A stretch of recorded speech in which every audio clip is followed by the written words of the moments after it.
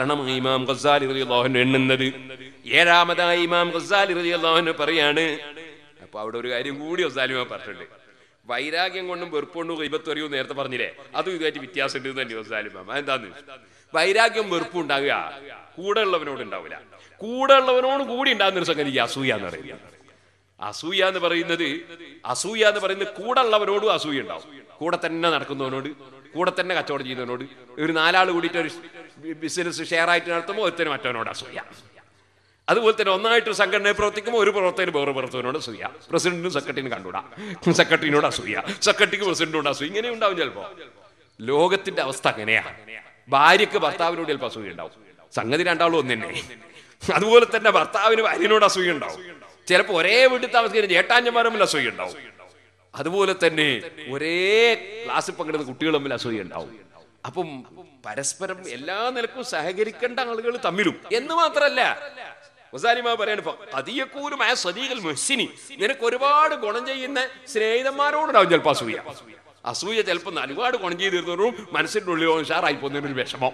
അതിനാ ഈ അസൂയ എന്ന് പറയുന്നത് അള്ളാഹു താല ഒരാൾക്ക് കൊടുക്കുന്ന അനുഗ്രഹത്തിൽ മനസ്സിന് പ്രയാസം ഉണ്ടാകുന്നതിന്റെ പേരാണ് അസൂയ. അതിനെ കാണുമ്പോൾ വിഡിത്ത ലോകത്ത് വേറെ ഒന്നും ഇല്ലട്ടോ കാരണം കൊടുക്കാൻ അറിയുന്നവൻ എത്ര കൊടുക്കണമെന്ന് അറിയുന്നവൻ ആർക്ക് കൊടുക്കണമെന്ന് അറിയുന്നവൻ എന്ത് കൊടുക്കണമെന്ന് അറിയുന്നവൻ.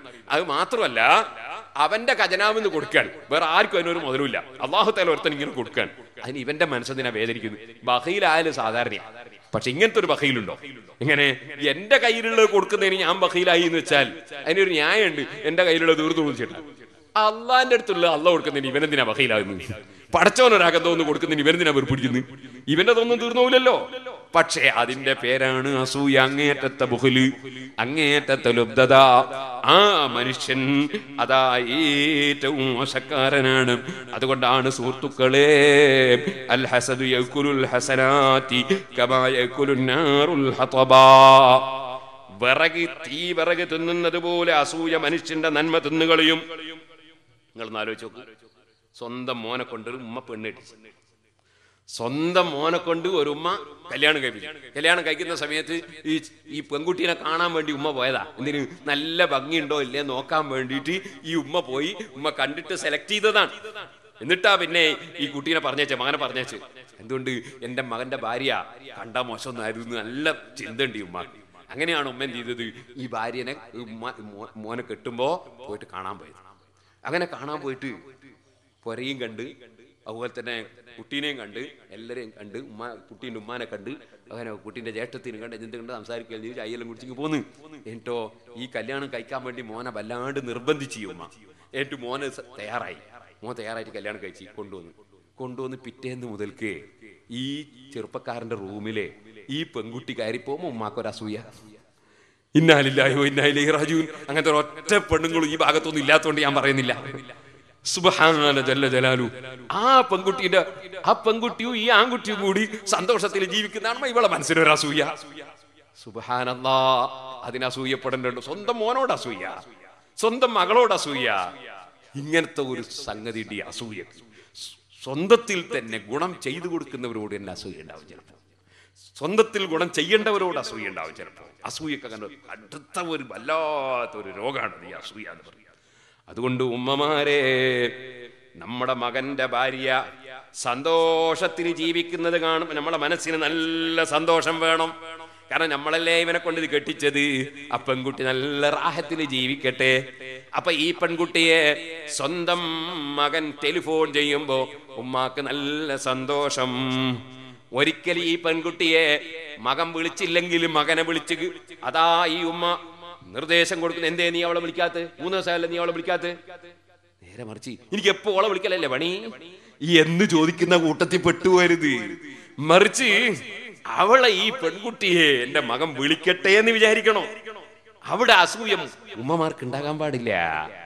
ഇതുപോലെ എന്റെ പ്രിയപ്പെട്ട പെൺകുട്ടികളെ സ്വന്തം ഉമ്മ ഉമ്മ തന്നെയാണ്. ഉമ്മാന്റെ ബഹുമാനം ഭാര്യക്ക് ഉണ്ടാവൂല. ഉമ്മാന്റെ ബഹുമാനം ഭാര്യക്ക് ഉണ്ടാവൂല.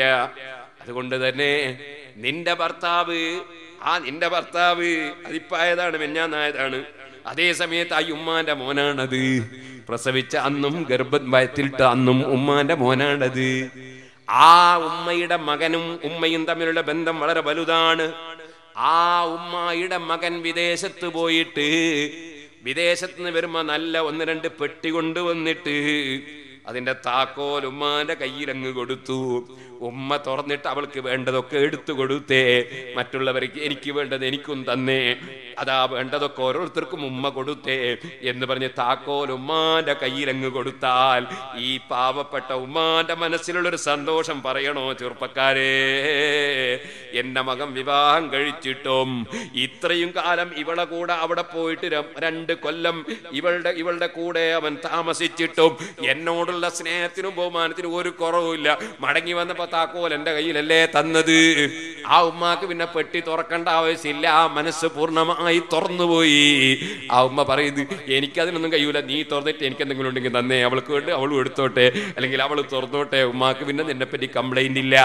നേരെ മറിച്ച് നീ ആ താക്കോൽ നിന്റെ ഉമ്മാന്റെ മുന്നിൽ നിന്ന് ഭാര്യന്റെ കയ്യിലാ കൊടുത്തതെങ്കിൽ ഉമ്മ ഭരണപക്ഷത്തും ഭാര്യ പ്രതിപക്ഷത്തുമായി പിന്നെ നിന്റെ ആ നിയമസഭയിലെ പ്രശ്നം തീരൂല കേട്ടോ. എന്നും പ്രതിപക്ഷവും ഭരണപക്ഷവുമായിരിക്കും. അപ്പൊ ഉമ്മാനെ ഉമ്മയായി തന്നെ കാണണം. ഉമ്മാന്റെ പൊരുത്തം വാങ്ങണം. ഉമ്മാന്റെ സ്നേഹം വാങ്ങണം. ഉമ്മയെ ഉമ്മയായി നിനക്ക് കാണാൻ കഴിയണം. ഉമ്മ ഉമ്മയാണെന്ന ബോധം വേണം. സുഹൃത്തുക്കളെ ജന്നത്തു തഹ്ത ഖദാമിൽ ഉമ്മഹാത് ഉമ്മമാരുടെ കാലിന്റെ ചോടയാണ് സ്വർഗമെന്ന് മുഹമ്മദുർ റസൂലുള്ളാഹി. സല്ലല്ലാഹു അലൈഹി വസല്ലം. ഇത് വഅൽ പറയുന്ന പണ്ഡിതന്മാർ സ്ത്രീകൾക്കെതിരാണെന്ന് പറഞ്ഞ് പ്രചരിപ്പിക്കുന്നവർ ആരാണ് പണ്ഡിതന്മാരെന്ന് പഠി പഠിക്കാത്തവരാണ്. ഇസ്ലാം സ്ത്രീക്ക് കൊടുത്ത സ്ഥാനം മനസ്സിലാക്കാത്തവരാണ്. പണ്ഡിതന്മാരെ അവമതിക്കുന്നവർ. സ്ത്രീകൾക്ക് ഇസ്ലാം നൽകിയ സ്ഥാനത്തെ കുറിച്ചൊരു ചുക്കും പഠിക്കാത്തവരാണ് പണ്ഡിതന്മാർ. ഒരിക്കലും സ്ത്രീകളെ അവഗണിക്കുന്നവരല്ല. മറിച്ച് പുരുഷന്മാർക്ക് സ്വർഗത്തിൽ കടക്കണോ? മറ്റുള്ളവർക്ക് സ്വർഗത്തിൽ കടക്കണോ? പെണ്ണായ ഉമ്മയുടെ പൊരുത്തം വേണം. ഉമ്മയുടെ കാലിന്റെ ചുവടയാണ് സ്വർഗമെന്ന് പഠിപ്പിച്ച നേതാവാണ് മുഹമ്മദുർ റസൂലുള്ളാഹി അലൈഹി വസല്ലം. ആ റസൂലുള്ളാഹി അലൈഹി വസല്ലമ സ്ത്രീകളെ അവഗണിച്ച നേതാവല്ല. ഇസ്ലാം സ്ത്രീകളെ അവഗണിച്ച മതവുമല്ല. സ്ത്രീകൾക്ക് അർഹമായ സ്ഥാനം ഉന്നതമായ പദവി നൽകിയ മതമാണ് ഇസ്ലാം. അതുകൊണ്ട് തന്നെ സ്ത്രീക്കുള്ള മഹത്വം സ്ത്രീക്കുള്ള മഹത്വം പല വിഷയത്തിനും പുരുഷനില്ല. പുരുഷനിക്കുള്ള പദവി ചില വിഷയങ്ങളിൽ സ്ത്രീകൾക്കില്ല. അത് പ്രകൃതിപരമായ ഒരു വിഷയമാണ്. അത് പറയുമ്പോഴേക്ക് സ്ത്രീകളെ അവഗണിച്ചു എന്ന് പറഞ്ഞ് അതാ കാള പെറ്റൂന്ന് കേൾക്കുമ്പോ കയറെടുക്കുന്നവരുണ്ട്. കാള പ്രസവിക്കുമോ എന്ന് ചിന്തിക്കാത്തവരുണ്ട്. മുസ്ലിം പണ്ഡിതന്മാർ ഒരിക്കലും സ്ത്രീ വിഭാഗത്തെ അവഗണിച്ചോ അവരെ നിസ്സാരപ്പെടുത്തിയോ അപകീർത്തിപ്പെടുത്തിയോ. ഒരു മുസ്ലിം പണ്ഡിതൻ സംസാരിക്കൂല. സംസാരിച്ചിട്ടുമില്ല. അതേ സമയത്ത് പുരുഷന്മാരെന്ന് ഒരുപോലെയാ? പുരുഷന്മാരല്ല? ഒരു വയസ്സുള്ള ഒരാൾ ഒരു വയസ്സായ ഒരാൾ കോണി ഇറങ്ങുമ്പോ ഒരു ചെറുപ്പക്കാരനോട് പറഞ്ഞു മോനെ ആൾ ഇറങ്ങുമ്പോൾ ഒന്ന് ശ്രദ്ധിക്കണേ. കണ്ടോ? അയാൾക്ക് ആ ചെറുപ്പക്കാരന്റെ അത്ര ശക്തിയില്ല എന്ന് പറഞ്ഞാളിഞ്ഞു. അങ്ങനെയാ? അയാളും ആ കോണി ഇറങ്ങുമ്പോൾ ഒന്ന് ശ്രദ്ധിക്കണേ. അത് അയാളെ കുളത്തിൽ പറഞ്ഞല്ലേ അത് വയസ്സന്മാരെ അവഗണിക്കല. വയസ്സന്മാരെ നിസാരപ്പെടുത്തല അവർക്ക് പ്രായമുള്ളത് കൊണ്ട് അവർക്ക് അങ്ങനെ പ്രയാസമുണ്ട്. വേറൊരു ചെറിയ കുട്ടി. ആ ആ ചെറിയ കുഞ്ഞന്റെ കയ്യം കുടിച്ചു കണ്ടോ? കുഞ്ഞന്റെ കൈ പിടിക്കണോന്ന് പറഞ്ഞില്ലേ? അപ്പൊ കുഞ്ഞനെ നിസ്സാരപ്പെടുത്തിയില്ലേ? കുഞ്ഞനെ നിസ്സാരപ്പെടുത്തില്ലേ കുഞ്ഞനെ സ്നേഹിക്കലാണത്. ഇതുപോലെ ഇസ്ലാം. സുബാനല്ലോ മുഖ്യമന്ത്രി പോകുമ്പോ ഒരു രണ്ടു മൂന്ന് വണ്ടിയിൽ പോലീസ് പോകണോന്നല്ലേ ഡി ജി പി. അല്ലോ മുഖ്യമന്ത്രിനെ നിസ്സാരപ്പെടുത്തിയില്ലേ? അയാൾക്ക് പ്രൊട്ടക്ഷൻ പോകണമെന്നല്ലേ നമുക്കൊന്നും പ്രൊട്ടക്ഷൻ വേണ്ടാലോ അയാളെ നിസ്സാരപ്പെടുത്തിയില്ലേ? അത് അയാളെ നിസ്സാരപ്പെടുത്തല? അയാൾക്ക് പ്രൊട്ടക്ഷൻ കൊടുക്കണം. ഇതുപോലെ ഒരു സ്ത്രീ അവൾ ഉമ്രക്കാ പോകുന്നത്? അല്ല കോഴിക്കോട്ടാ പോകുന്നത്? കണ്ണൂരാ പോകുന്നത്? പോകുമ്പോ പ്രൊട്ടക്ഷൻ വേണം. പ്രൊട്ടക്ഷൻ എന്ന് പറഞ്ഞാൽ ഒന്ന് കാണാനോ തൊടാനോ പറ്റുന്ന ഒരു പുരുഷൻ കൂടെ വേണം. പ്രൊട്ടക്ഷൻ കൊടുക്കുന്നവരായിരിക്കും എന്റെ കൂടെ. അല്ലാതെ പിടിച്ച് ഈ ആക്രമിക്കുന്നവനോ പീഡിപ്പിക്കുന്നവനല്ലല്ലോ കൂടെ പോണ്ട് അപ്പൊ പ്രൊട്ടക്ഷൻ കൊടുക്കാൻ ഒരാങ്ങളെയോ അല്ലെങ്കിൽ ഉപ്പാന്റെ ഏട്ടനോ അനിയനോ അമ്മാമനോ അല്ലെങ്കിൽ ബാപ്പയോ പാപ്പയോ അല്ലെങ്കിൽ ഭർത്താവോ ഭർത്താവിന്റെ ബാപ്പയോ അങ്ങനത്തെ ആരെങ്കിലും വേണോ? ഭർത്താവിന്റെ ചേട്ടൻ മതിയാവില്ല ഭർത്താവിന്റെ അനുജം മതിയാവില്ല കാരണം അത് പ്രൊട്ടക്ഷൻ പറ്റൂല. അത് അപകടം കൂടുതലാ. അപ്പൊ സുഹൃത്തുക്കളെ ഇസ്ലാം സ്ത്രീക്ക് സംരക്ഷണം കൊടുക്കണം എന്നല്ലേ പറഞ്ഞത്? ഇസ്ലാം സ്ത്രീക്ക് എല്ലാ ആനുകൂല്യവും കൊടുക്കണമെന്നല്ലേ പറഞ്ഞത്? അത് വേറെ ഏത് മതത്തിലാണുള്ളത് ഏത് പ്രസ്ഥാനത്തിലാണുള്ളത്? സുബഹാനല്ല രാവിലെ പെണ്ണുങ്ങൾ ഇറങ്ങിപ്പോയിട്ട് രാവിലെ പെണ്ണുങ്ങൾ ഇറങ്ങിപ്പോയിട്ട് പണിയെടുത്ത് കൊണ്ടുവന്നിട്ട് ഭർത്താവിനെ കൊണ്ട് തിന്നിക്കണമെന്നല്ല ഇസ്ലാം പറഞ്ഞത്. മറിച്ച് ഭർത്താവ് രാവിലെ പോയിട്ട് പണിയെടുത്തിട്ട് ഭാര്യ സുഖസുന്ദരമായിട്ട് രാജകീയമായി വീട്ടിൽ ഇരുന്ന് ഭക്ഷണം കഴിക്കണമെന്നാണ്. രാജകീയമായിട്ട് ഭക്ഷണം കഴിക്കണം. അവർ പുറത്തു പോവാണെങ്കിൽ പ്രൊട്ടക്ഷൻ ഒരാൾ കൂടെ പോകണം. നബിസല്ലാ ഹജ്ജിന് പോകാൻ വിചാരിക്കുന്ന എന്റെ ഭാര്യ ഞാൻ വേറൊരു പരിപാടിക്ക് പോകാൻ വേണ്ടി. വേണ്ട നീയും കൂടി അവളോട് പോയിട്ട് അജിരി ചെയ്താളാ. അവളെ അജിച്ചിട്ട് വന്നാളാണ് അവക്ക് വേണ്ടി നീയും കൂടി പോയിക്കളാ. അങ്ങനെയാ സ്ത്രീക്ക് പൂർണ സംരക്ഷണം പൂർണമായ സമാധാനം പൂർണമായ സംരക്ഷണം. അതാണ് ഇസ്ലാം. ആളുകൾക്ക് എന്ത് അറിവില്ലാതെ ആയിപ്പോയി അള്ളാഹു എല്ലാവർക്കും നല്ല ബുദ്ധി കൊടുക്കട്ടെ സഹോദരന്മാരെ ഇപ്പൊ ഞാൻ അതിലേക്ക് കടക്കുന്നില്ല. ഇന്ന് രാവിലെ ഞാൻ കുട്ടികൾക്ക് തഫ്സീർ ഇങ്ങനെ ഓതി കൊടുക്കുക അപ്പൊ തഫ്സീർ ഓതി കൊടുക്കുമ്പോ ഇന്ന് രാവിലെ ഓതി കൊടുത്ത ആ സൂറത്ത്.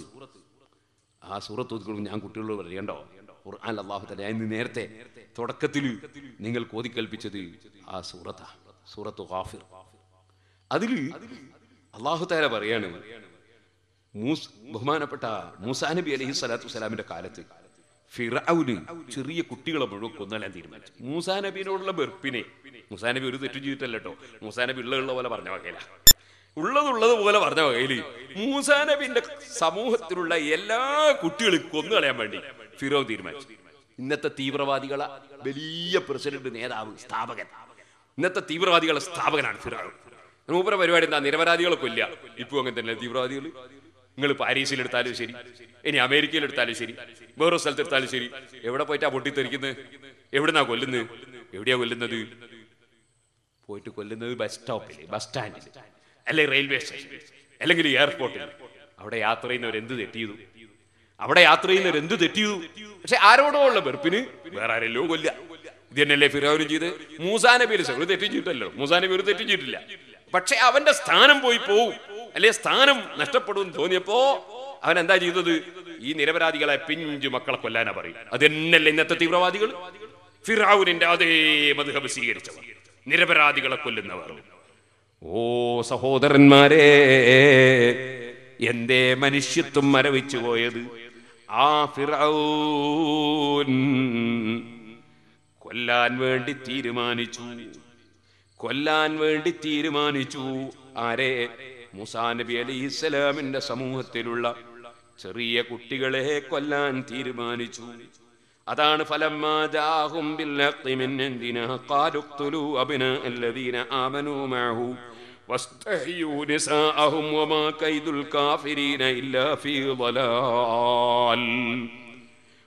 നബി അലൈഹി സമുദായത്തിലുള്ള ആൺമക്കളെ കൊന്നുകളയൂ.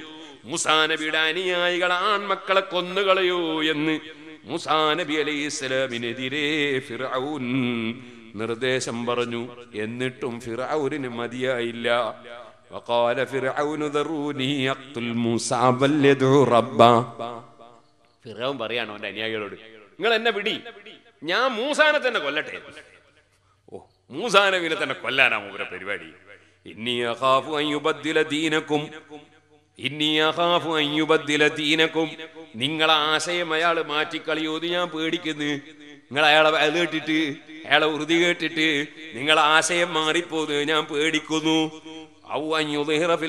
ഫസാദ്. ഒരു നാശവും ചെയ്യാത്ത മൂസാനബിനെ സംബന്ധിച്ച് ആരോപണം പറയുന്ന ഫിറൌന്. അവൻ പറയാണ് മൂസ നാട്ടിൽ ഫസാദ് ഉണ്ടാക്കൂന്ന് ഞാൻ പേടിക്കുന്നു. ഇന്നാലില്ല ഈ നിരപരാധികളെ കൊല്ലുന്ന ഫിറൌനാണ്. മൂസാ നബി ഫസാദ് ഉണ്ടാക്കൂന്ന് പേടിക്കുന്നു എന്നാ പറയുന്നത്. അപ്പ മൂസാനി പറഞ്ഞു ഇന്നീ ഉഴുത്തു ബിറബ്ബീ വറബ്ബിക്കും മിൻ കുല്ലി മുതക്കബ്ബിരിൻ ലാ യുമിനു ബിയൗമിൽ ഹിസാബ്. സർവ അഹങ്കാരികളിൽ നിന്നും ഈ സർവ അഹങ്കാരികൾ അതുപോലെ അള്ളാഹുവിന്റെ അടുക്കൽ ഒരു കണക്ക് ചോദ്യമുള്ള വിശ്വാസമില്ലാത്ത അഹങ്കാരികളിൽ നിന്ന് എന്റെ റബ്ബിനെ കൊണ്ടും നിങ്ങളുടെ റബ്ബിനെ കൊണ്ടും ഞാൻ കാക്കുന്നു എന്ന് പറഞ്ഞു. അപ്പോ ആ സദസ്സിൽ ഒരു മൂമിനായ മനുഷ്യനുണ്ടായിരുന്നു. അല്ല പറയാണ്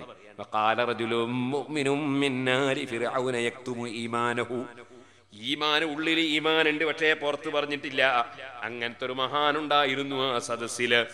അദ്ദേഹം പറഞ്ഞു "അതഖ്തുലൂന റജുലൻ അൻ യഖൂല റബ്ബി അല്ലാ അല്ലയാണ് എന്റെ റബ്ബെന്ന് പറഞ്ഞതിന് നിങ്ങൾ ഒരാളെ കൊല്ലുകയാണോ? അത് ശരിയുണ്ടോ?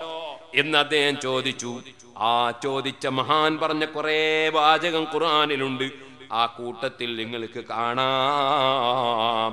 അദ്ദേഹം പറയാണ് യാ قوم إنما هذه الحياة الدنيا മതാഅ് ഈ ഭൗതികമായ ലോകം ഒരു താൽക്കാലിക സുഖമാണ് ജനങ്ങളെ. പാരത്രീക ആഖിറത ഹിയ ദാറുൽ ഖറാർ. പാരത്രിക ലോകമാണ് എന്നെന്നും താമസിക്കാനുള്ള വീട്. അതുകൊണ്ട് പറയട്ടെ മൻ അമില സയ്യത്തൻ ഫലാ ഇല്ല ഇല്ലാ മിസ്ലഹാ.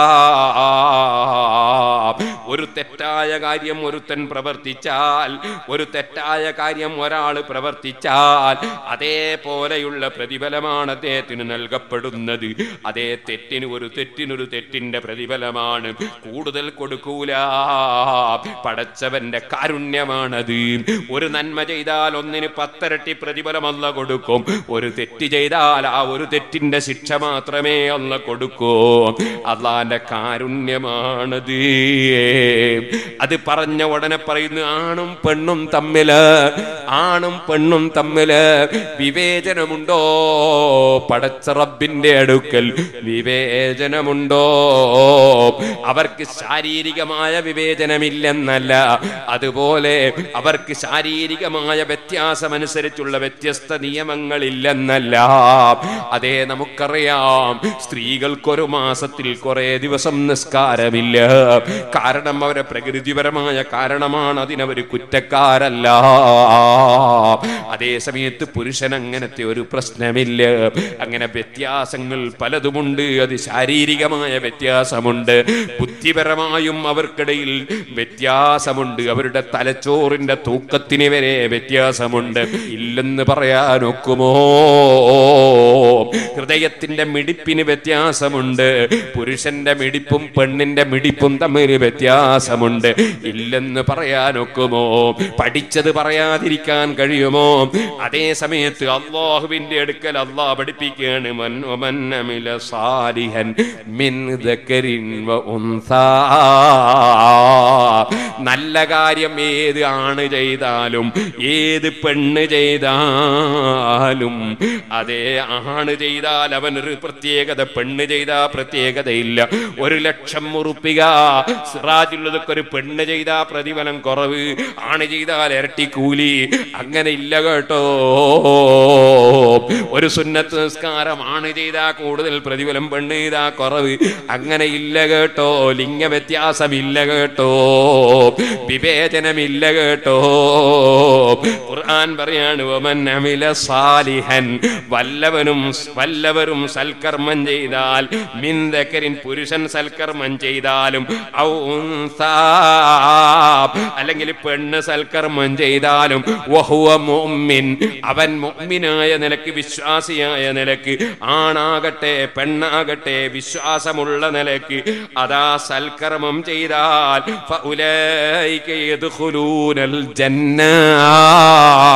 ആണും കടക്കും സ്വർഗത്തിൽ പെണ്ണും കടക്കും സ്വർഗത്തിൽ യുർസഖൂന ഫീഹാ ബിഗൈരി കണക്ക് ചോദ്യമില്ലാതെ കണക്കില്ലാതെ പടച്ചറബിന്റെ അടുക്കൽ അവർക്ക് നൽകപ്പെടുന്നു. ആണ് പെണ്ണ് വ്യത്യാസമില്ല. സുഹൃത്തുക്കളെ നിങ്ങൾ കണ്ടില്ലേ? ആണുങ്ങൾ കുത്തിരിഞ്ഞ് ചൊല്ലാണ് നഫീസത്തുൽ റളിയല്ലാഹു അൻഹയുടെ ബഹുമാനം. നഫീസത്ത് മാല. ആണുങ്ങൾ ഇരുന്ന് ഓതാണ് ആയിഷ ബീവിയുടെ സൂറ സൂറത്തു. നൂറ് പെണ്ണിന് ഇസ്ലാമിൽ ഒരു കുറവുമില്ല. അങ്ങനെ കുറവുണ്ടെന്നൊരു പണ്ഡിതനും പറഞ്ഞിട്ടുമില്ല. അതേ സമയത്ത് പെണ്ണിന്റെ പ്രകൃതിപരമായ കഴിവുകളും പുരുഷന്റെ പ്രകൃതിപരമായ കഴിവും ഒരുപോലെയല്ല. കുട്ടികളുടെ കഴിവും യുവാവിന്റെ കഴിവും ഒരുപോലെയല്ല. യുവാവിന്റെ കഴിവും വാർദ്ധക്യമുള്ളവരെ കഴിവും ഒരുപോലെയല്ല. വാർദ്ധക്യമുള്ളവനുള്ള പക്വത യുവാവിനുണ്ടാകൂല. യുവാവിനുള്ള ശക്തി വാർദ്ധക്യമുള്ള ഉണ്ടാവൂല അങ്ങനെയല്ലേ? അപ്പൊ വ്യത്യാസം ആണുങ്ങൾക്കിടയിലുമുണ്ട് ആണും പെണ്ണും തമ്മിലുമുണ്ട്. പുരുഷൻ സ്ത്രീയെ പോലെയല്ല. പുരുഷന്മാർക്ക് സ്ത്രീയേക്കാൾ അതാ ഒരു പദവിയുണ്ട്. അതുകൊണ്ട് പുരുഷന്മാർ അധ്വാനിച്ചുണ്ടാക്കി ഭാര്യക്ക് ഭക്ഷണം കൊടുത്തോളണം വസ്ത്രം കൊടുത്തോളണം. അതേ പാർപ്പിടം കൊടുത്തോളണം. ഭർത്താവിന് വേണ്ടി ഭാര്യ പണിയെടുക്കാൻ പോകണ്ട. അവൾ സുഖമായി വീട്ടിലിരുന്നാൽ മതി. അതല്ലേ ഇസ്ലാം? ആ ഇസ്ലാമിനെ കരിവാരി കാണിക്കാനാണോ ഇസ്ലാമിന്റെ വിരോധികൾ ശ്രമിക്കുന്നത്? ഇസ്ലാം അത് അള്ളാഹുവിന്റെ മതമാണ്. സുഹൃത്തുക്കളെ മകന്റെ ഭാര്യയോട് മകന്റെ ഭാര്യയോട് ഭർത്താവിന്റെ ഉമ്മാക്ക് അസൂയ പാടില്ല. ഇതുപോലെ തന്റെ സ്വന്തം ഉമ്മയെ മകൻ നന്നായി പരിഗണിക്കുന്നത് കാണുമ്പോ എന്ത് പറഞ്ഞാലും നിങ്ങൾക്ക് ഉമ്മന്യ വലുത് എന്നൊരു പെൺകുട്ടി പറയാനും പാടില്ല. ഉമ്മന്യാണ് വലുത്.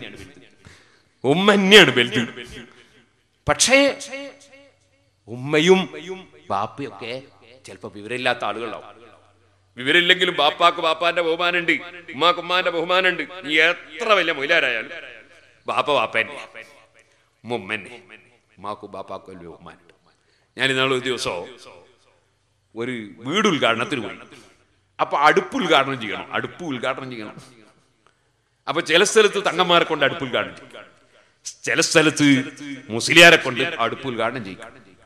സാധാരണയാണ് ഉദ്ഘാടനം ചെയ്യും. വീഡിയോ ഉദ്ഘാടനത്തിനും അങ്ങനെ തന്നെ. ചിലപ്പോൾ മൂല്യാരെ വിളിക്കും ചിലപ്പോൾ തങ്ങളെ ചിലർ ഉമ്മാനെ കൊണ്ട് അടുപ്പ് ഉദ്ഘാടനം ചെയ്യും. അടുപ്പ് ഉമ്മാനെ കൊണ്ട് തീ കത്തിച്ചിട്ട് ഉദ്ഘാടനം. കുഴപ്പമൊന്നുമില്ല. ഉമ്മ ഉദ്ഘാടനം ചെയ്തോട്ടെ.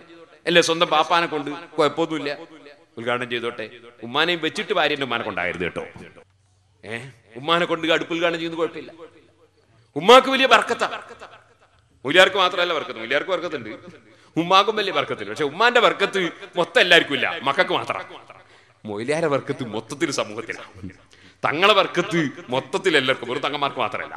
എല്ലാവർക്കും തങ്ങളെ വർക്കത്ത് മൊയിലാരെ വർക്കത്ത് മൊത്തം പണ്ഡിതന്മാരെ വർക്കത്ത് സമൂഹത്തിലാണ് അത് എല്ലാവർക്കും ഉമ്മാന്റെ ബർക്കത്ത് മക്കൾക്ക് മാത്രം.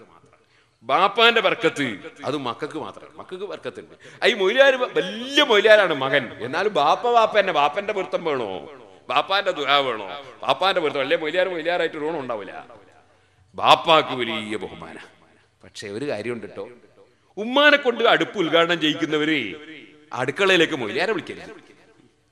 അടുക്കളയിലേക്ക് തങ്ങളെയും വിളിക്കരുത്. കാരണം ഈ ഉമ്മ ഇവന് മാത്രം ഉമ്മ. മൊയിലാർക്ക് അന്യ അന്യ സ്ത്രീയാ. തങ്ങൾക്കും അന്യ സ്ത്രീയാ.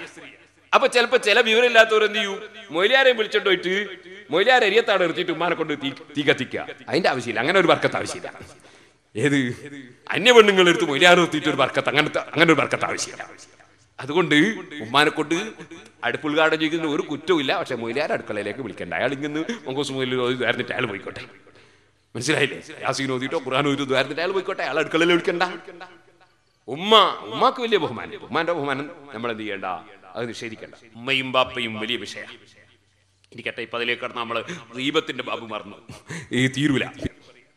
പറഞ്ഞു വന്നത് അപ്പൊ അസൂയയുടെ പേരിൽ. അസൂയ എന്ന് പറയുന്നത് ചിലപ്പോ സ്നേഹിക്കേണ്ടവരോടും അസൂയ ഉണ്ടായി എന്ന് വരും. അതുകൊണ്ട് അസൂയ എന്ന് പറയുന്നത് വലിയൊരു രോഗമാണ്. അസൂയയുടെ പേരിലാണ് ഏകദേശ സുബാനല്ലാ പണ്ഡിതന്മാരെ സ്റ്റേജുകൾ പണ്ഡിതന്മാരെ സദസ്സുകൾ ജനങ്ങളെ സ്വർഗത്തിലെത്തിക്കുന്നതല്ലേ പറഞ്ഞു കൊടുക്കേണ്ടത്? നരകത്തുനിന്ന് മോചിപ്പിക്കുന്നതല്ലേ പറഞ്ഞു കൊടുക്കേണ്ടത്? അതിന് പലപ്പോഴും പണ്ഡിതന്മാരെ സ്റ്റേജുകൾ പോലും അതാ അസൂയയുടെ പേരിൽ വേറെ ഒരു പണ്ഡിതന്റെ ഗീബത്ത് പറയുന്ന സ്റ്റേജുകളായി പോകുന്ന ഒരു ആഹൃസമാനിലാണ് നമ്മുടെ ജീവിതം. അള്ളാഹുവേ ഉമ്മത്തിനെ നന്നാക്കി തരണേ റഹ്മാനേ. അസൂയയുടെ പേരിൽ കുറ്റം പറയുന്ന ഒരു ലോകം. അതാ പതിനൊന്ന് കാരണങ്ങൾ കൊണ്ടാണ് മനുഷ്യൻ റീബത്ത് പറയാൻ നിമിത്തമാകുന്നത്. നീമാം ഗസാലി റതിയുദ്ദീനിൽ എണ്ണുമ്പോ അതിൽ ആറാമത്തെ കാരണമായി പറഞ്ഞതാണ് അസൂയ. ഏഴാമത്തെ കാരണം മഹാനവറുകൾ പറയുന്നു കളിയും തമാശയുമാണ്. റീബത്ത് പറയാൻ റീബത്തിന് കാരണം കളിയും തമാശ. അങ്ങനെ നമ്മളിങ്ങനെ ഇങ്ങനെ ഇരിക്കുമ്പോ വേറൊരു സാധു മനുഷ്യൻ അയാൾ അയാളെ കോലെല്ലാം കെട്ടിയിട്ട് അയാൾ പറയും പോലെ നമ്മളൊന്ന് പറയാ. അല്ലെങ്കിൽ വേറൊരു മൊയിലാര് ആ മൊയിലാർ അതേ വേഷത്തിൽ അതേ കോലത്തിൽ അയാളെ ശൈലിയിലൊന്ന് പറയാ എന്റെ ബാക്കിയുള്ളതെല്ലാം ജീവിപ്പിക്കുക അത് കടുത്ത ഗീബത്താണ്. ഇഷ്ടപ്പെടാത്തത് പറയുന്നതല്ലേ ഗീബത്ത്? അത് കടുത്ത ഗീബത്താണ്.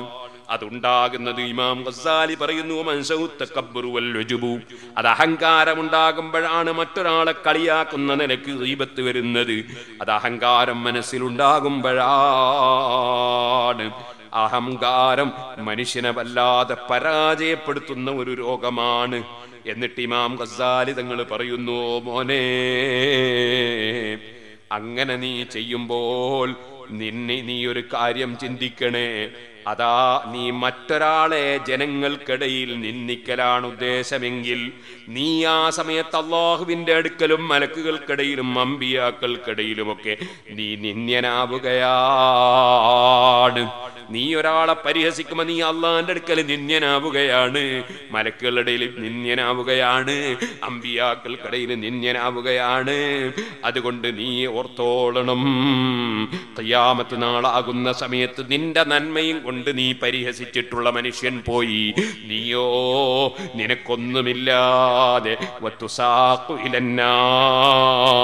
നരകത്തിലേക്ക് നിന്നെ വലിച്ചു കൊണ്ടുപോകുമല്ല അത് ഹസക്കദാലിക്കാൻ സാഹിബിക്ക നിന്നെ ഭയപ്പെടുത്തുന്നില്ലേ? നിന്നെ പേടിപ്പിക്കുന്നില്ലേ.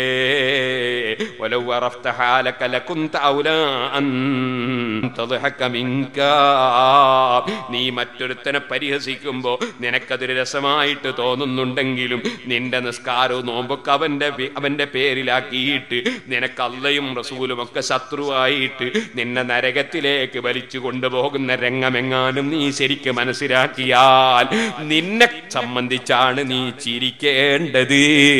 നിന്റെ കൈവശത്തിലുള്ളത് മുഴുവനും പാവപ്പെട്ട മനുഷ്യന് കൊടുത്തിട്ട് നിന്നെ കൊണ്ട് മറ്റുള്ളവർ നോക്കി ചിരിക്കുന്നൊരവസ്ഥ ആഹ്റത്തിലേക്ക് നീ സമ്പാദിച്ചില്ലേ? അതേ സമയത്ത് ഹിമാറു തീയിലേക്ക് കഴുതയെ വലിച്ചു കൊണ്ടുപോകും പോലെ നാളെ നിന്നെ നരകത്തിലേക്ക് വലിച്ചു കൊണ്ടുപോകൂലേ ഇപ്പൊ നീ അവന്റെ പൈ ശൈലിയും മറ്റൊക്കെ എടുത്തിട്ട് അവനെ പരിഹസിച്ച് ചിരിക്കുമ്പോ നിനക്ക് നല്ല രസം തോന്നുന്നുണ്ടാകാം. നാളെ നരകത്തിലേക്ക് നിന്നെ കഴുതയെ വലിക്കും പോലെ വലിക്കുന്നൊരു സമയം വരാനുണ്ട്. മോനെ. ഇമാം ഖസാലി റതിയല്ലോ എന്ന് പറയുന്നു അങ്ങനെ നീ കളിയാക്കിയിട്ട് വേണ്ട പരിഹസിച്ചിട്ട് വേണ്ട അതൊക്കെ കിബിറിൽ നിന്നുണ്ടാകുന്നതാണ്. കളിക്ക് വേണ്ടി തമാശക്ക് വേണ്ടിയുള്ള കൈബത്ത് പരിഹാസത്തിന് വേണ്ടിയുള്ള കൈബത്ത് പിന്നെ മഹാനവറുകൾ പറഞ്ഞു മറ്റൊരു മൂന്ന് സൈസ് കൈബത്തുണ്ട് അതെങ്ങനെയെന്നറിയോ? ഒരാൾ ഒരു തെറ്റ് ചെയ്യുന്നത് ശ്രദ്ധയപ്പെട്ടു. ആ തെറ്റ് ചെയ്യുന്നത് ശ്രദ്ധയപ്പെട്ടപ്പോ നീ എന്ത് ചെയ്തു? അയാളത് ചെയ്തോ? അയാളത് ചെയ്തപ്പോ എനിക്ക് വല്ലാത്ത അത്ഭുതമായി പോയി നീ എന്തിനാ അങ്ങനെ വേറൊത്തിനോട് പറയുന്നു? അയാളത് ചെയ്ത വിവരം നീ വേറൊന്നിനോട് പറയുന്നു. അയാൾ ചെയ്ത തെറ്റന്നെ. പക്ഷെ നിന്നെ അതിന്റെ പേരിൽ നിന്റെ മനസ്സിന് വിഷമുണ്ടെങ്കിൽ ആ മനസ്സിൽ ആ വിഷമം വെച്ചിട്ട് സ്വകാര്യ അയാൾ വിളിച്ച് ഉപദേശിച്ചാ പോരെ? നീ അയാളത് ചെയ്തത് ആ മോശമായി പോയി എന്ന് നീ എന്തിനു പറഞ്ഞു? അപ്പൊ നീ അയാളെ ദൈവത്ത് പറഞ്ഞില്ലേ? നീ അതിന്റെ പേരിൽ നിന്റെ ആഹ്റം നഷ്ടപ്പെടുത്തിയില്ലേ? മോനെ നിനക്ക് അയാളെ പേര് പറയാതെ നിനക്ക് ആ അത്ഭുതം കൂറിയാൽ പോരെ. നീ പേര് പറഞ്ഞ് നീ നാശത്തിലേക്ക് പോയില്ലേ? ഇതുപോലെ തന്നെ ഒരാളൊരു തെറ്റ് ചെയ്തപ്പോ ആ തെറ്റ് നിന്നെ വല്ലാതെ ദുഃഖിപ്പിച്ചു. ഒരുപക്ഷേ നിന്റെ ബന്ധത്തിലോ നിന്റെ ശിഷ്യന്മാരോ നിന്റെ അനുയായികളോ നിന്റെ നേതാവോ നിന്റെ അയൽവാസിയോ നിന്റെ കുടുംബക്കാരനോ അല്ലെങ്കിൽ നിന്റെ കുടുംബത്തിൽപ്പെട്ടവരോ അങ്ങനത്തെ ഒരാൾ നിന്റെ നിന്റെ മകന്റെ ഭാര്യയാണ് അല്ലെങ്കിൽ നിന്റെ ഭർത്താവിന്റെ ഉമ്മയാണ് അല്ലെങ്കിൽ നിന്റെ അമ്മോശനാണ് അല്ലെങ്കിൽ അതാ നിന്റെ അമ്മോശന്റെ അനിയനാണ്. ഏതോ ആകട്ടെ ഏതോ ഒരാൾ ഒരു കാര്യം ചെയ്തപ്പോ അതിന്റെ മനസ്സിന് വല്ലാത്ത ദുഃഖമുണ്ടാക്കി. എന്നാൽ ആ ദുഃഖം നീ മറ്റൊരാളോട് അയാളെ പേര് വെച്ച് പങ്കുവെക്കുമ്പോ അയാളത് ഇഷ്ടപ്പെടൂലല്ലോ ഇഷ്ടപ്പെടാത്തത് പറഞ്ഞാൽ ഗീബത്തല്ലേ?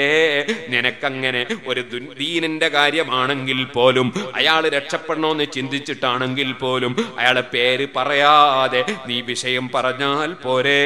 നീ അദ്ദേഹത്തിന്റെ പേര് പറഞ്ഞപ്പോ നീ ഗീബത്ത് പറഞ്ഞവനായി.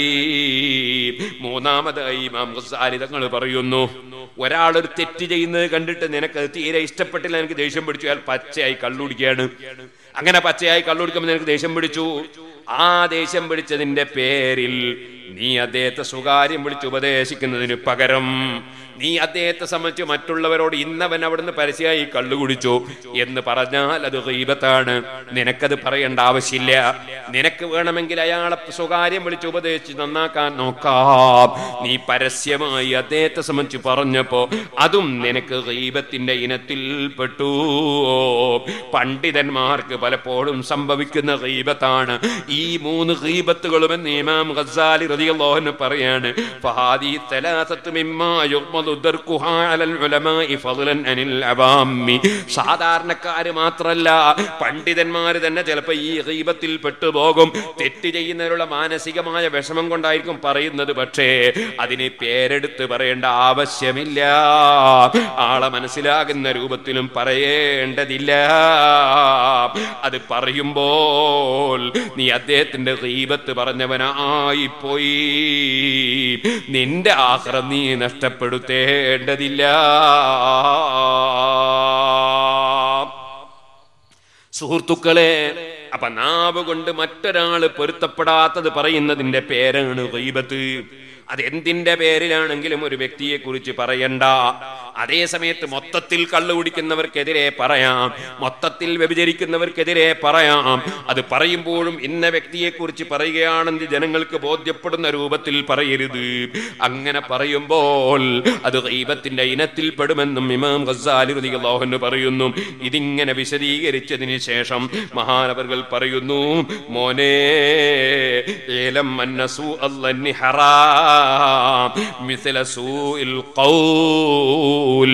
നാവ് കൊണ്ടുള്ള ദൈവത്തിനെ കുറിച്ചാണ് നമ്മൾ പറഞ്ഞത്.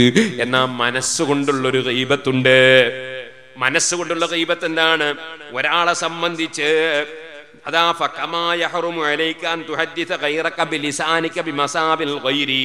വേറെ ഒരാളെ ദോഷം കൊണ്ട് വേറെ ഒരാളെ ദോഷം കൊണ്ട് നിന്റെ നാവ് കൊണ്ട് നീ പറയൽ ഹറാമുള്ളത് പോലെ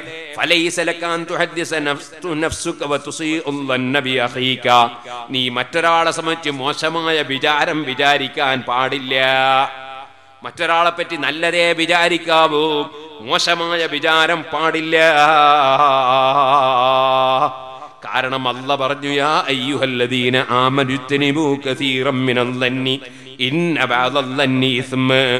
ധാരണ പലതും പിഴവാണ് തെറ്റാണ്. അതുകൊണ്ട് നിങ്ങൾ ധാരണകൾ കൈയൊഴിക്കണേ. നമ്മൾ ഒരാളെ സംബന്ധിച്ച് മോശമായ ധാരണ വെച്ച് കൂടാൻ പാടില്ല. എത്രത്തോളം ഇമാം ഖസാലി റതി അള്ളാഹുന് പറയാണ് നമ്മൾ ആഹ്റം രക്ഷപ്പെടുത്താൻ നമ്മൾ ചിന്തിക്കണം.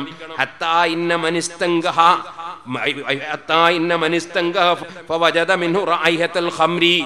ഒരു മനുഷ്യന്റെ വായി പിടിച്ച് മണത്ത് നോക്കുമ്പം കള്ളിന്റെ വാസന എത്തിച്ചു. ഇസ്ലാമിൽ കള്ള് കുടിക്കുന്നവന് നാൽപ്പത് അടി കൊടുക്കണമെന്നാണ് ഇസ്ലാമിന്റെ കോടതി വിധിക്കുന്ന ശിക്ഷ. ചിരിപ്പ് കൊണ്ട് നാൽപ്പത് അടി. കാരണം കള്ള് നജസാണ്. അത് വിരോധിക്കപ്പെട്ടതാണ്. അത് കുടിച്ചാൽ ഇസ്ലാമിന്റെ കോടതി നാൽപ്പത് അടി വിധിക്കുകയാണ്. എന്നാൽ ഒരു മനുഷ്യന്റെ വായി പിടിച്ച് മണത്തു നോക്കുമ്പോ കള്ളിന്റെ മണമുണ്ടെങ്കിൽ അവനെ അടിക്കാൻ പറ്റുമോ പറ്റൂല. നിങ്ങൾ പറയാണ് കള്ള് മണക്കുന്നത് കൊണ്ട് അവനെ അടിക്കാൻ പറ്റൂല. കാരണം ഇത് യുഖാലു കിനു അയ്യക്കൂന യകൂന ഖദ് ഹംരി വമാ ശരിബഹ. ഒരു മനുഷ്യൻ അവന്റെ വായു മണത്ത് നോക്കുമ്പോൾ കള്ളു കണക്കുന്നുണ്ട് പക്ഷെ അവൻ കുടിച്ചിട്ടില്ലെങ്കിലോ? അവൻ വായി കുറച്ച് കള്ളാക്കിയിട്ട് അങ്ങ് തുപ്പിക്കളഞ്ഞു എന്റെ വായു അങ്ങ് കൈ കളഞ്ഞാണെങ്കിലോ അതുകൊണ്ട് വായു മണക്കുന്നു വിചാരിച്ച് കള്ളു കുടിച്ചെന്ന് പറയാൻ പാടില്ല. പാടില്ല. സുബാനോ നമ്മുടെ ദിന ഓരോരുത്തരും തെറ്റിദ്ധരിക്കാൻ പോകുന്നു. ഗസാലി മാമു തങ്ങൾ പറയും ഒരാളെയും തെറ്റിദ്ധരിക്കാൻ പാടില്ല. നല്ലതേ വിചാരിക്കാവൂ. മണക്ക് കള്ളു മണത്തതിന്റെ പേരിൽ അവനെ കള്ളു കുടിച്ചു തന്നെ ശിക്ഷിക്കാൻ പറ്റൂല. അപ്പൊ നമ്മൾ ഒരാളെയും തെറ്റിദ്ധരിക്കാൻ പാടില്ല. അതാണ് സുബാനല്ല ഒരു പൂച്ച. ഒരു പൂച്ച അല്ലെ ഒരു നായ. നമ്മളിങ്ങനെ കയറി ചെല്ലുമ്പോ ഒരു സ്ഥലത്ത് ഒരു ബക്കറ്റ് വെച്ചിട്ടുണ്ട്. അതിൽ കുറച്ച് വെള്ളവും നമ്മൾ കയറി ചെല്ലുമ്പോൾ നായ മെല്ലെ എന്റെ വായ ഇങ്ങനെ ബക്കറ്റ് നീ പൊക്കുന്നത് കണ്ടു. എന്നാൽ ആ വെള്ളം നമുക്ക് ഇനി ഉപയോഗിക്കാൻ പറ്റൂല്ലേ? ബക്കറ്റിൽ വെള്ളം. ആ വെള്ളത്തിൽ നിന്ന് വെള്ളം ഇങ്ങനെ വെച്ചിട്ടുണ്ട്. നമ്മൾ ചെല്ലുമ്പോൾ ഒരു നായ ബക്കറ്റിൽ നിന്ന് തല ഇങ്ങനെ പൊക്കുന്നു. വെള്ളം തൊടുന്നത് നമ്മൾ കണ്ടിട്ടില്ല. വെള്ളം അതിന്റെ വായ കൊണ്ട് തൊടുന്നത് കണ്ടിട്ടില്ല. തല പൊക്കുന്നതേ കണ്ടിട്ടുള്ളൂ. എന്നാൽ ആ വെള്ളം ഉപയോഗിക്കാൻ പറ്റൂല്ലേ? ഫത്തുൽ മിൽ പറഞ്ഞു ആ വെള്ളം ഉപയോഗിക്കുന്നതിന് കുഴപ്പമില്ല. എന്താ കാരണം? ആ നായനെ പറ്റി നല്ല വിചാരിക്കണം. ആ നായനെ പറ്റി നല്ല വിചാരിക്കണം.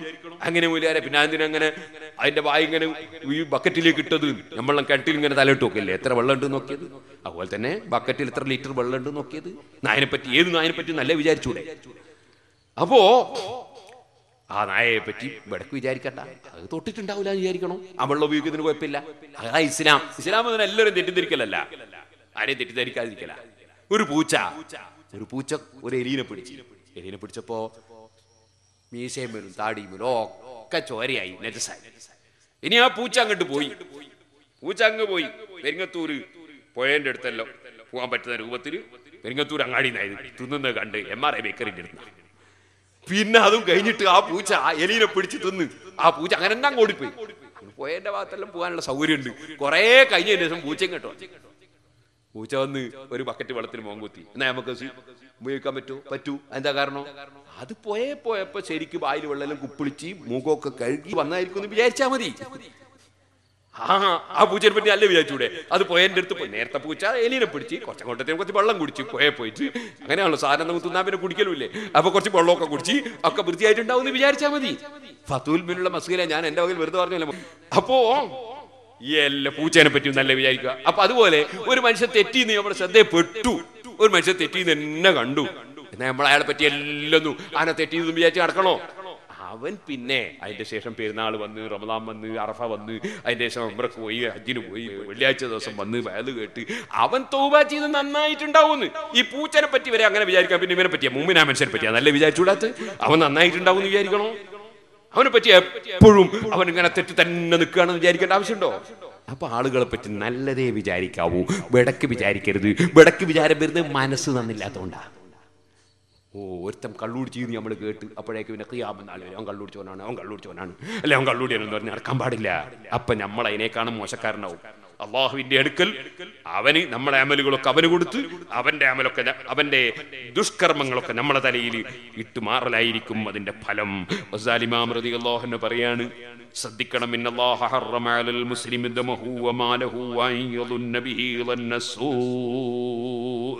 നബി സല്ലല്ലാഹു അലൈഹി വസല്ലം നിങ്ങൾ പറഞ്ഞു ഒരു മുസ്ലിമായ മനുഷ്യന്റെ രക്തവും അവന്റെ ധനവും അവനെക്കുറിച്ച് മോശമായ അതെല്ലാം അല്ല ഹറാമാക്കിയതാണ്. ഒരു മുഅ്മിനായ മനുഷ്യനെ കുറിച്ച് മോശമായ ധാരണ വെക്കുന്നതും അല്ല വിരോധിച്ചതാണ് ഹറാമാക്കിയതാണ്. ഇനി ഒന്നുകൂടി ഇമാം ഗസാലി റതിയല്ലാഹു പറയാണ് തെറ്റ് ചെയ്യുന്നുണ്ടോ ചെയ്യുന്നുണ്ടോ എന്നിങ്ങനെ സുബ്ഹാനല്ലാ ഇങ്ങനെ. അവനെന്താ പറയുന്നത് നോക്കിയിട്ട്? ഇങ്ങനെയല്ലേ? ടെലിഫോൺ വിളിക്കുക റിക്കാർഡാക്കുക മുറിക്കുക റിക്കാർഡാക്കുക മുറിക്കുക. ഇങ്ങനെ ജാസൂസിന്റെ പണിയെടുക്കുന്ന കൂട്ടരില്ലേ? അല്ല പറയുന്നു വലാത്ത ജസ്സസൂ നിങ്ങൾ ചുഴന്നന്വേഷിക്കരുതേ തെറ്റ് കണ്ടുപിടിക്കാൻ നടക്കരുതേ. അതൊരു മുസ്ലിമിന് പറ്റിയ പണിയല്ല.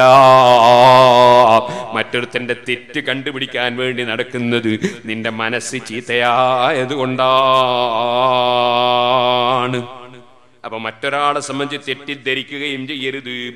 തെറ്റ് നോക്കി നടക്കുകയും ചെയ്യരുത്. മഹാനായ ഇമാം അൻഹു അതാ അവിടുത്തെ അവിടുത്തെ ദീനിൽ വലാ തജസ്സസു എന്ന സൂറത്തുൽ ഹുജറാത്തിന്റെ പന്ത്രണ്ടാമത്തെ ആയത്ത് കൊടുത്തിട്ട് പറയുന്നു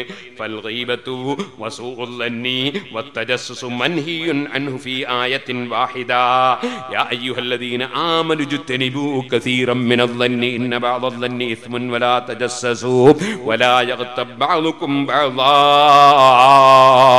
നിങ്ങളൊരാളെ കുറിച്ച് തെറ്റായ ധാരണ വെക്കരുത്. നിങ്ങൾ തെറ്റന്വേഷിച്ചു പിടിക്കാൻ വേണ്ടി നടക്കരുത്.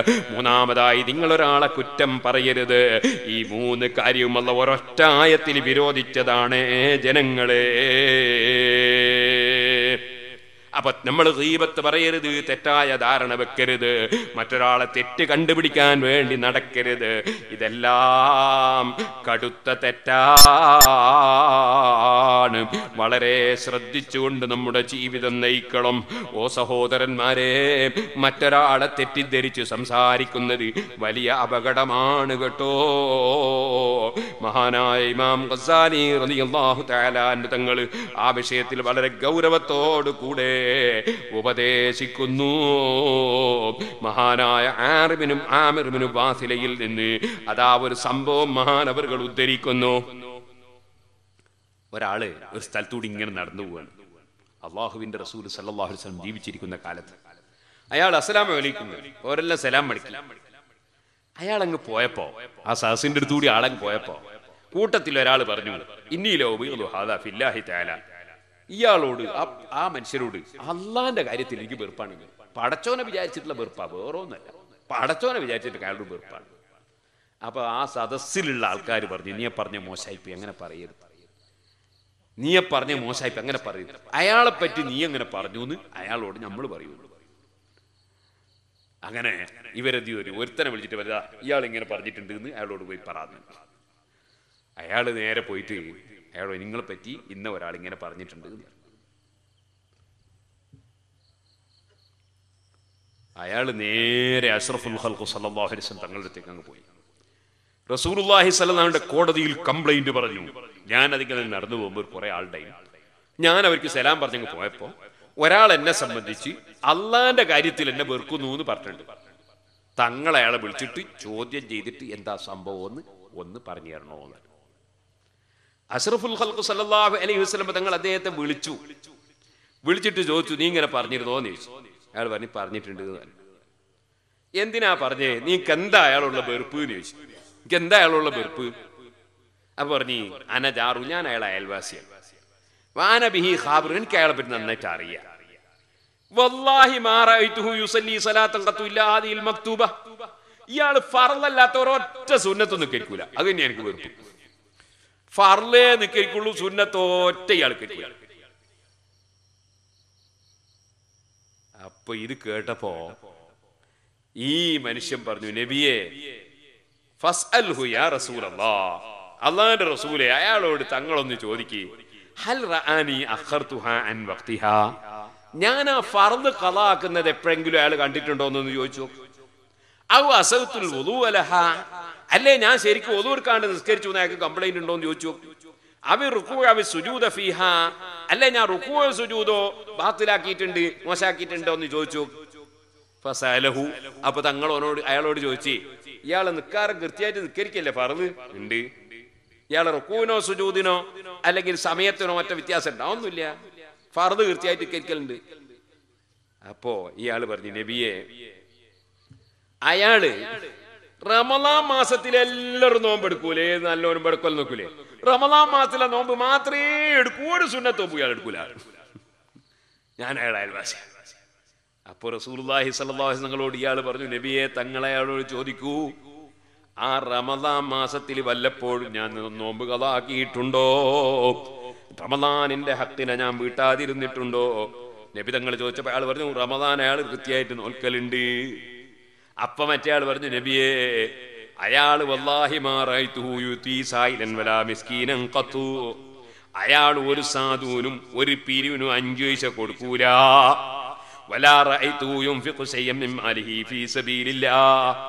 അള്ളാന്റെ വഴിയിൽ ഒരു അഞ്ചു പൈസ പിരിവ് കൊടുക്കൂല ഒരു സാധുവിനും സഹായം കൊടുക്കൂല. ഇല്ലാ ഹാദി സക്കാ അല്ലതീ യുദ്ദിഹൽ ബർറു വൽ ഫാജിറു. സക്കാത്ത് പിന്നെ എല്ലാരും കൊടുക്കുന്നതല്ലേ? സക്കാത്ത് മാത്രമേ കൊടുക്കൂ. വേറെ ഒരു സദക്ക ഇയാൾ ചെയ്യൂല. അപ്പ ഇയാൾ ചോദിച്ചു നബി അയാളോട് ചോദിക്കോ ഞാൻ ആ സക്കാത്ത് വല്ലതും ചുരുക്കിയിട്ടുണ്ടോ? ഞാനത് ചോദി അതാ അതിന്റെ അവകാശികളോ അല്ലെങ്കിൽ ഗവൺമെന്റിന്റെ ഉദ്യോഗസ്ഥന്മാരോ ഇസ്ലാമിക ഗവൺമെന്റ് ഉദ്യോഗസ്ഥന്മാരോ വന്ന് ചോദിക്കുമ്പോ ഞാനത് കൊടുക്കാതിരുന്നിട്ടുണ്ടോ? അദ്ദേഹം പറഞ്ഞു ഇല്ല അത് റെഡി കൊടുക്കലുണ്ട്. ഇതങ്ങ് പറഞ്ഞപ്പോ നബി സല്ലല്ലാഹു അലൈഹി വസല്ലമ തങ്ങൾ അയാളെ വെറുക്കുന്നു എന്ന് പറഞ്ഞ മനുഷ്യനോട് പറഞ്ഞു കൊം എഴുന്നേൽക്കടോ. ഫലഅല്ലഹു ആ മനുഷ്യൻ നിന്നെക്കാൾ എത്രയോ ഹൈറായിരിക്കും കേട്ടോ. നീ അള്ളാന്റെ കാര്യത്തിൽ അയാൾ വെറുക്കുന്നു എന്ന് പറഞ്ഞില്ലേ? ഫറദായ കാര്യത്തിന് ഒന്നിനും ഭംഗം വരുത്താതെ ഒരു ഭംഗവുമില്ലാത്ത മനുഷ്യന് സുന്നത്ത് കുറഞ്ഞതിന്റെ പേരിൽ അല്ലെ സുന്നത്തെടുക്കാത്തതിന്റെ പേരിൽ നിനക്ക് വെറുക്കാൻ എന്ത് അവകാശമാണ്?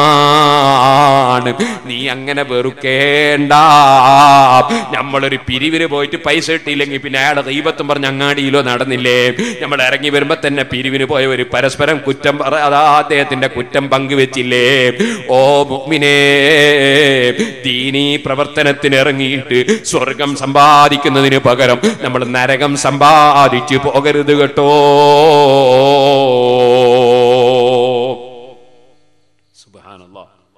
മൊയിലിയാരെ ബാലൻസ് ക്ഷണിക്കാൻ പോയിട്ട് അയാൾ ഏറ്റിട്ടില്ലേ തന്നെ റീബത്ത് പറഞ്ഞു. അങ്ങനത്തെ കാലായിപ്പോ.